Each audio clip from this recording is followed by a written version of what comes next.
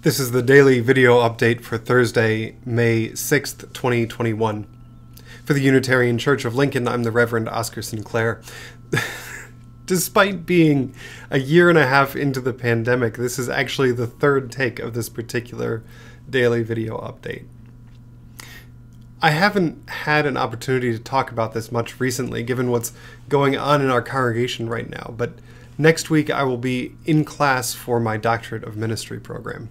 Now, Wesley Theological Seminary is still remote.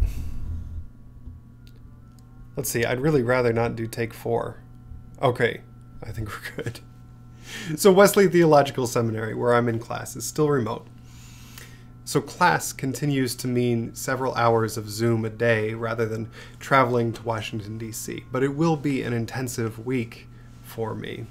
The topic for this class is images of leadership in Scripture, and it's being taught by Dr. Denise Dombkowski Hopkins, who you've heard me talk about plenty in sermons. We're looking at Scripture, at these stories that have been told for thousands of years through the particular lens of what they tell us about leadership. Now, this program, this doctorate program, now that I'm that I'm well into my second year of, revolves around this question of leadership.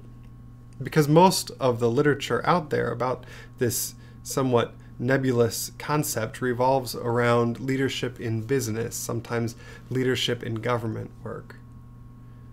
But we've been asking what it means in a church setting. In 2021, what does it mean for folks of privilege to think about leadership? At the same time, we're centering often marginalized voices in our institutions. And what might we learn from these very, very old stories?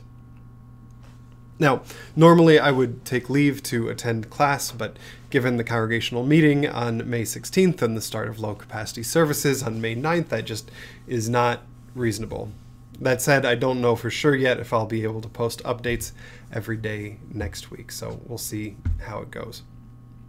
What I do know is that one of the assignments for this class is to design a worship service around what comes out of our coursework.